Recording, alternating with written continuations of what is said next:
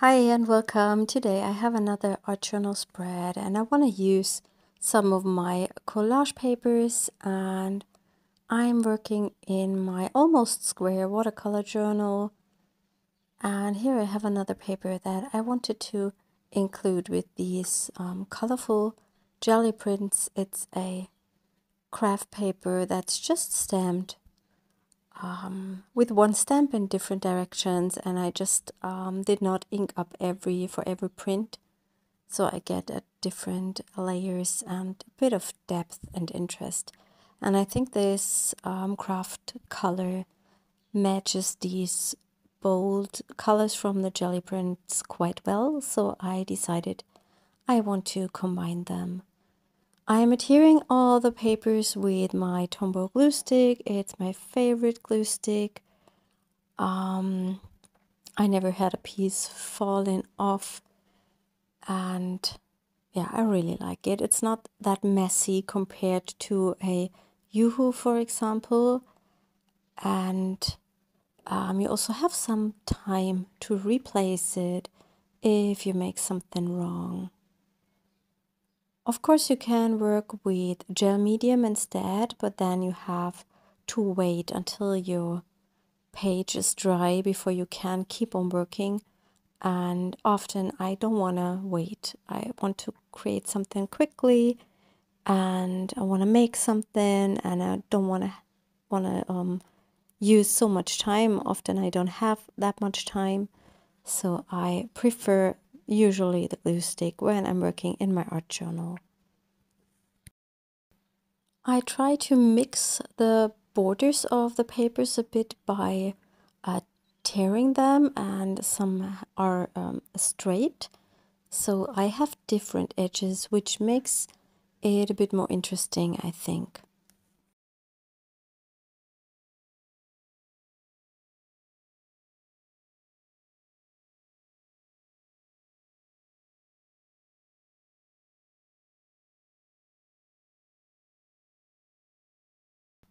Some of the gelli prints I'm using today are made with our new stencils. They are in the shop since yesterday and they are, um, all the new products are 10% off. We also have two new stamp sets and 10 stencil designs and as I said, some of the papers are already made with these. Um, the green one here on the right side has um, some stencil pattern in the print. Um, and I will also use one of the stencils on my spread. If you want to have some gelli printing inspiration, I often print with stamps and the gelli plate. I have a lot of videos already on my channel and I will link uh, the playlist up in the end cards.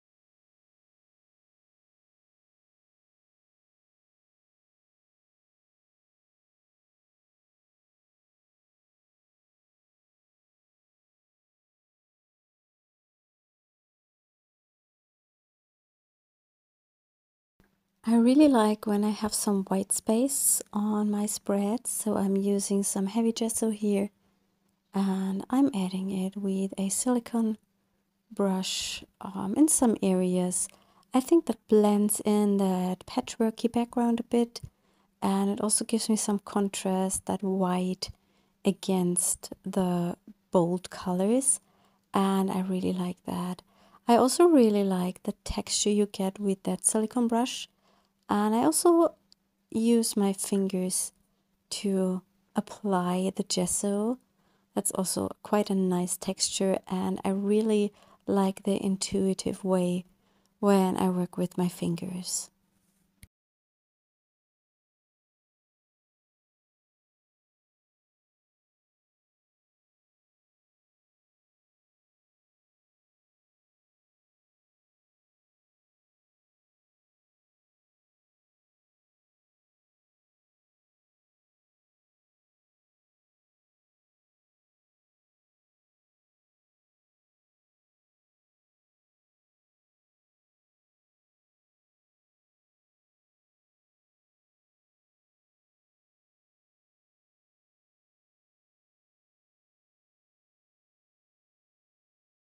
As I said, I wanted to use a stencil on this spread and the stencils you can see here are not the ones we have in the shop. Well, the patterns are the same, but um, these are cut from, uh, some are cut from paper and some are cut from thin stencil material with my Cameo. Um, I did this before I ordered the stencils so I can um, could try out if I like them. Um, the stencils we have in the shop are really high quality with a thick material, quite thick, and you can create really nice texture with them. And I already tried them out now and I really like them. Today I want to use um, this stencil with the crisscross design just with a sponge and some acrylic paint to add some texture to the background.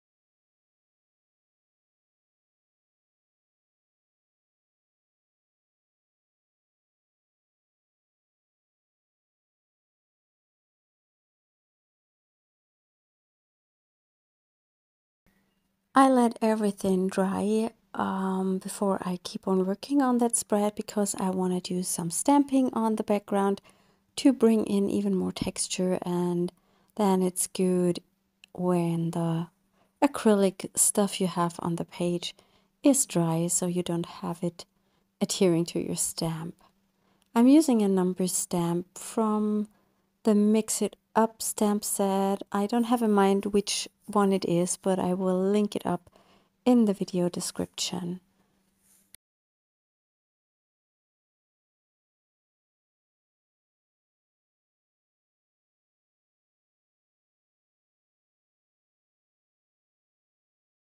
When I'm working over an acrylic surface, I prefer using StazOn ink because that dries the fastest. It almost dries immediately and you don't have to worry that you smear your ink.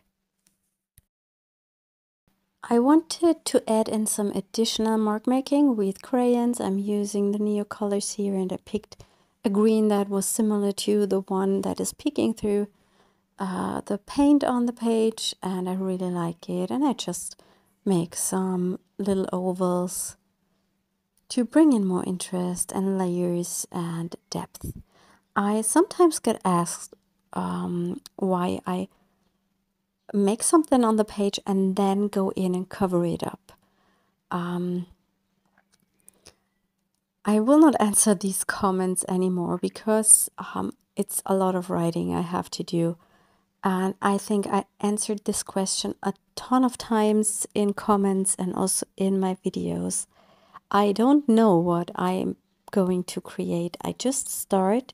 It's an intuitive process And sometimes I cover up stuff, and sometimes I cover up areas that I don't like, or I cover up areas where I think I need something else.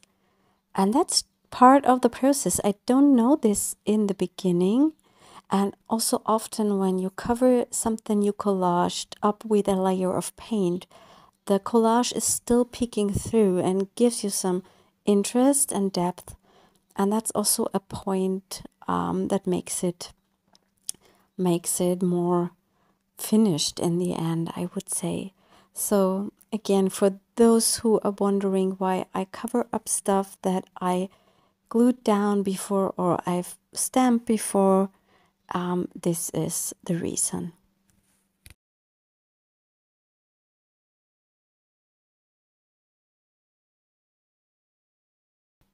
I'm adding some splatters to my spread. You know I do this quite often uh, because I just love the texture and the the energy you get with these splatters.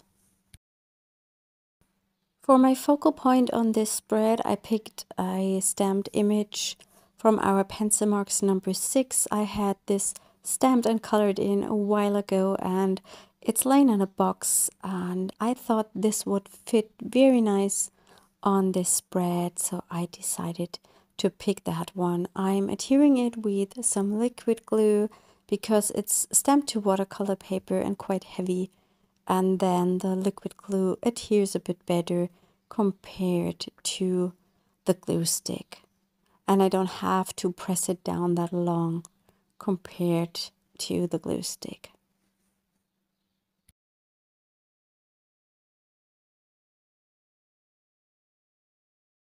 For my sentiment, I picked one from the mixed sentiments. And talking about sentiments, we now have the mixed sentiment words. Um, almost all of them together in one clear stamp set where it has four word blocks. Um, I will share this in one of the upcoming videos so you know what I'm talking about. I'm really happy about that because I really love to use those words to create my own sentiments for artist trading cards or art journal pages. Yes, and that was my video for today. I hope you enjoyed it and you are inspired. Don't forget to check our new release over in the shop. And I hope you will see us next time. Bye.